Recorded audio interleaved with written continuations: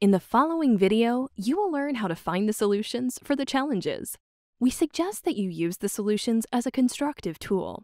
This means that students should first try solving the challenge a few times by themselves, ask classmates, or refer to past solutions to guide them. To see solutions, from the My Classrooms page, click on the class that you want to see solutions for. You will reach the Progress tab. There are two types of solutions that you can find, a student solution or a three-star solution.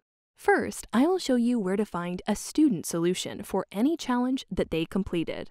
To see a student-specific solution, click on the star that you want to see the solution for. For example, to see Abigail P's solution for Challenge 76, I will click on the star here.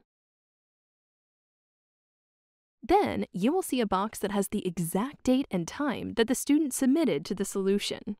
Click on the date, and then on OK.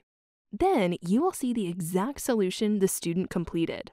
The second kind of solution that you can see is a three-star solution for any challenge. A three-star solution is the perfect solution for the challenge.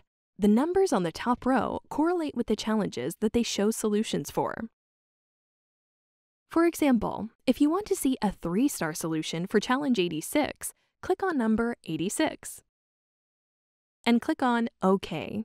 That is how you reach the three-star solution for the challenge. You can also find solutions for any course on CodeMonkey by going to the drop-down menu right here. Thank you for watching this video on how to find solutions on CodeMonkey.